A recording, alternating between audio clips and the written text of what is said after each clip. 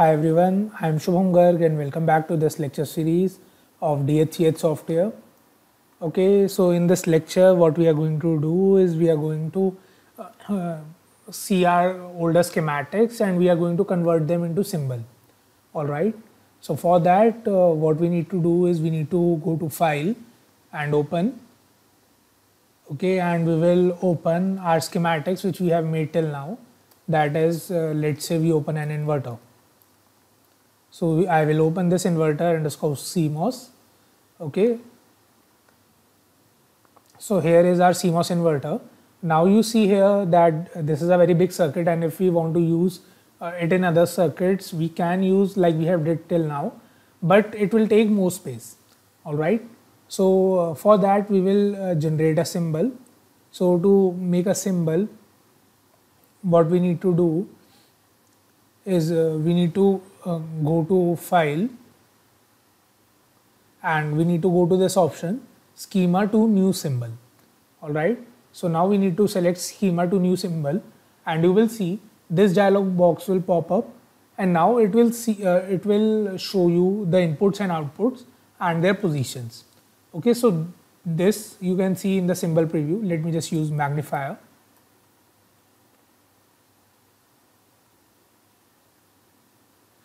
okay so in the symbol preview uh, you will see here. Yeah this is uh, the input one and the output one. So these are the positions for input one and output one and this is the side. That is left or right or where should be the input. Okay so here uh, we can sort it according to uh, our wish. Okay and you can see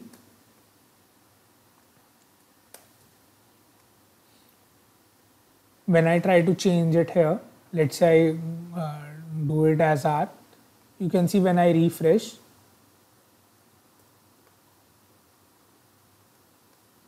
okay the input is not showing. So anyway let's just keep it as L. Maybe now input will show when I keep it as L and it is at R, yeah. So you see output and input uh, are on the opposite sides now. This is basically because uh, there is one input and one output. So that's why uh, it is showing on different sides. Okay, that is uh, from one side there is input, other side there is output. And you can see you can compress or expand this symbol according to your need. So by clicking here, you can expand or clicking here, you can compress so that it will take lesser space okay? So this is how uh, our symbol will look like. And this is input 1 and output 1 okay? So now uh, this is the name for inverter underscore CMOS and this is the title. So let me just uh, now you need to do is click OK to create the symbol. Okay? So now what you need to do is you need to go to insert insert and symbol. Okay so you can see here there is already the symbol EDSCH system inverter CMOS dot SYM file. So you can also click on user symbol. Now you remember what uh, till now when we need to add the inverter we do not add SYM file we added SCH file. But now we will be adding the inverter as SYM file so just need to go to uh, the IEEE folder and here you need to search.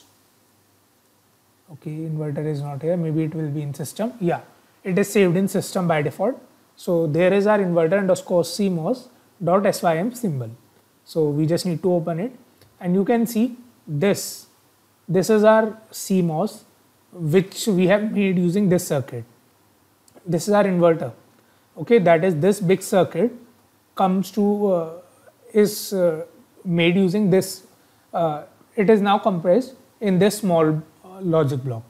Okay similarly you can use other big circuits and convert them into logic blocks so let us put an input and output here. Okay first of all let us generate uh, let us delete this system. All right. So now this is the button and this is the LED. Okay, so now both of these are the inverters and they should function in the same way. So when I run the simulation, you can see when the input is 0, output is 1. When the output is 1, the input is 0. So this is how you develop the symbol, develop a symbol. Okay, now let's open another gate and uh, another schematic which we have made previously and we will use this symbol. Okay, so for example, let's use AND gate. Okay, so okay there is yeah NAND gate is there. So let's use NAND gate. Okay. So this is our NAND gate. You can see when the input is 0 or any one of the input is 1 uh, the output is 1 when both the inputs are 1 the output is 0 so now to make this NAND gate an AND gate what we need to do uh, is we need to add the inverter okay so for that we are going to add the symbol of the inverter. So now we are going to do is insert user symbol. And from here we will add this inverter. Okay so you see now how it how easy it becomes to add the symbol. So let's just drag and drop. And now you see we have added the symbol. And now let's just run and it will work according to the AND gate. You can see when both the inputs are 1 the output is 1 any of the input is 0 or both inputs are 0 the output is 0 and not only the inverter you can now make a whole symbol for this circuit. That is this is now AND gate. You can make the symbol for this circuit. So just select schema to new symbol.